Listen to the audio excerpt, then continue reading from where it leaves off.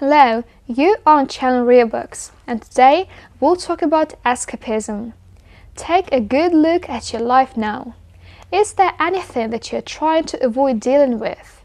Your work, your responsibilities, your relationships, your singlehood if you're single, your deteriorating health, your poor dietary habits, your poor exercise regime, your negative financial status, your goals, your aspirations, your personal issues, your past. Escapism occurs when you are trying to avoid something. It can come in different forms. Some people escape by seeking out alternate activities such as sleeping and playing. Some drown themselves in work.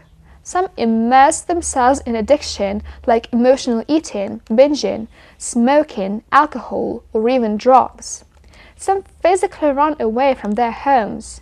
Some may even go as far as to migrate to a new place where they can start afresh. In life, many people try to escape from various things. No matter what they are trying to avoid, these things ultimately ladder down to their fears, their deepest sorrows, their plans, their past, and their disappointments. In relationships, you see escapism come into play when some people rebound after painful breakups. Rather than deal with the situation, they seek solace in someone else. The feeling of being wanted and desired by someone, anyone, covers up the pain of their breakup. While the person may seem to have escaped dealing with the pain head on, in reality, this wound has not been properly addressed nor healed. It is just there, dormant, throbbing, silently until the day when it resurfaces in a different manner. In other areas of life, you see people escaping from other things. For example, socially shy people who stay away from public sports. People who stay put in passionless jobs because they're afraid of failure from pursuing what they love or because they're afraid to know that there is something far better for them elsewhere. People who avoid challenges because they are afraid of supposed pain and suffering. People who avoid their past because they are reminded of their deepest sorrows. People who avoid their issues because they think they have no strength to face them. There are even some who basically spend their whole lives trying to escape from their issues. As a coach, I work with many people to achieve their life goals. Some have progressive, forwarding goals. Some desire to overcome their personal issues. No matter what their objectives are, it will eventually come down to having to confront their personal limits. In the process, it is not uncommon for some to become resistant and start displaying escapist behavior. The level of resistance depends on the severity of the issues and the level of consciousness of the person. The deeper these issues are, the stronger the resistance. The lower their consciousness, the more they seek avoidance behaviors. It is then my job to bring them into a heightened level of self awareness, reconnect them with their inner self, which drove them to engage a life coach in the beginning and enable them to overcome these limits.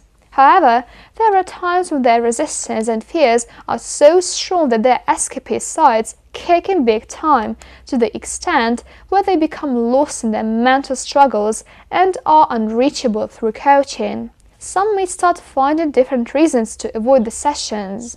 Some start avoiding contact or even request to terminate the coaching prematurely. This is rare, but it happens. When that happens, it goes beyond my means as a coach. My coaching and personal life philosophy is that free will and personal choice supersede everything at the end of the day. When my clients want to avoid being coached, it's not the coaching they are trying to avoid. It's not the coach either. It's themselves. As a coach, I cannot force them to deal with their personal issues if they, as the owners of their lives, have decided to give up and avoid them. Accountability is a key component of a successful coaching relationship, and this means the coachee being directly accountable for their lives. In such instances, I can only let them go, send them my well wishes and positive energy, and keep the communication channel open for them in the meantime. Even in my encounters with friends, my attempts at generating conscious conversations are not always met with fervor. Some feel uncomfortable by the discussions and start avoiding the topics. Many prefer to stick to light, easy conversations such as the latest celebrity gossip, TV shows, the latest food trend, and just casual banter. When I talk about things like passion or conscious living, the conversation usually goes dead. Some may even find me intimidating for wanting to talk about something like this. Having conscious conversations can be quite fearful and confrontational for some, as the conversations, directly or indirectly, bring up issues they are trying to avoid. When I was in high school, there were many times when I wasn't prepared for my tests or exams. Instead of studying, I would be busy playing games, working on my websites. I was running websites for fun back then, chatting, or immersing in recreational activities. Basically, anything but hit the books. It didn't help that I was a restless student. I hardly paid attention during class. Studying was boring to me. When that happened, sometimes I would avoid school altogether by feigning illness or coming up with some excuse. By sitting for the papers, my lack of preparation would be validated by me not knowing how to answer the questions and eventually my exam results. I didn't want that to happen. I wanted to do well. I wanted to do the best I could. It was an all or nothing mindset from the perfectionist me because having results anywhere short of what I envisioned represented many things to me. It represented my irresponsibility toward my studies and life. It represented how I lacked the leadership and discipline to get my priorities straight. It represented how I was messing up my life, my future, and my dreams, and how I was setting myself up for failure. It represented how I was letting myself my family, and the people who believed in me down. In the end, it wasn't the papers that I was trying to avoid, it was me. I was trying to avoid myself. I was trying to avoid tainting my self image. I was trying to avoid acknowledging that I was messing up in my studies.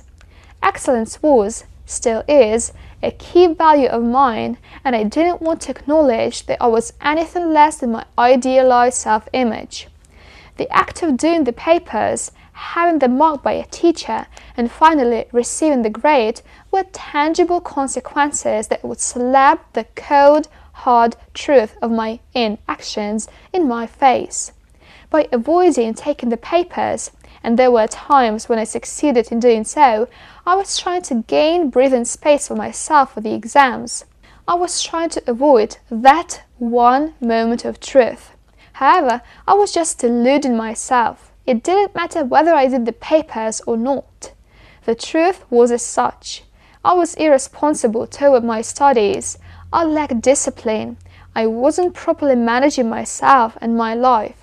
By avoiding the issue altogether, I was letting the issue perpetuate. The same thing would arise again and again in different forms, as I observed later on. It was when I started facing it head on that I finally embraced my value of excellence. It was only through accepting, coming clean, and taking responsibility for my actions that I finally moved forward and made progress. Ask yourself is there anything in your life that you feel most confronted by? Anything that you're trying to escape from? It is important to understand that escapism is a kind of defense mechanism. It occurs as a result of you trying to protect yourself from something, specifically your ego trying to protect yourself. Except that it really isn't protecting you from anything. It doesn't take a rocket scientist to know that avoidance does not solve anything. The proverb, ignorance is bliss, is probably one of the most delusional proverbs of all time If there is an issue you're facing with, that issue doesn't disappear by avoiding it. It's still there. It will always be there until you face it. It's like an ostrich burying its head in the sand.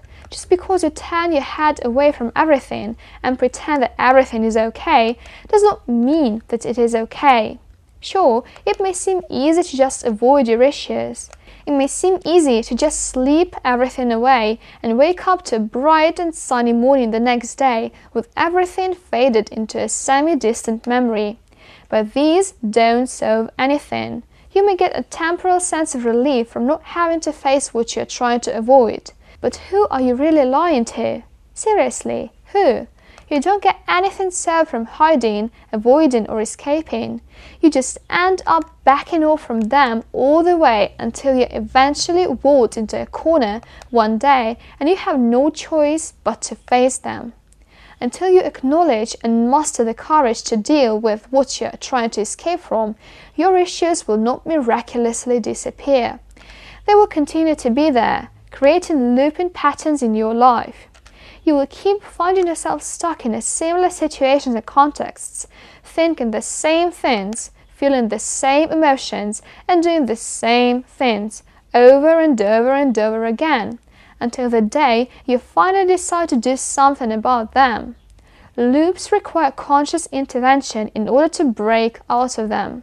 As long as you're trying to avoid something, a part of you is vibrating at a consciousness level of shame or guilt. So long as a part of you, however small, is trapped at that level, it makes you unable to fully progress and evolve as a person. To grow, you need to confront what you are trying to avoid. I'm not saying that facing your issues is easy. It's not. When you're trying to avoid something, it is usually a reflection of deeper inner issues which you have not resolved. These issues are delicate. These issues are very real it takes true strength and courage to be able to face them head on. And in the process of working through your issues, you don't always win. Sometimes you may make some headway only to be subdued afterward. This is especially so if it involves dealing with something you have been struggling with since a while back. But that's okay. What's important is you never stop trying. For example, in running personal excellence, I witnessed my course participants and clients facing new blocks every week as they pursue their goals. That's perfectly normal. Sometimes they may fall short of the targets they set. They may get discouraged and dismayed. But in the coaching process, they eventually regather themselves and continue to press on and fight. They stay receptive to external help as they move forward and because they keep going at it, they eventually succeed in the end. As long as you keep going, as long as you keep confronting your issues, as long as you keep fighting, you will become stronger and stronger. You will grow bigger than your problems, such that they are no longer problems. You will level up. If you need additional ammo, join support groups or get a good coach with a proven track record to battle these issues together. I promise you that it will simply be a matter of time before you emerge victorious. When that happens, you will be living a life where you are truly liberated, a life where you're no longer running or hiding from something, a life of courage and bravery, a life of truth, authenticity, and honesty to everyone, a life of integrity and honesty to yourself. That was all. Thanks for watching.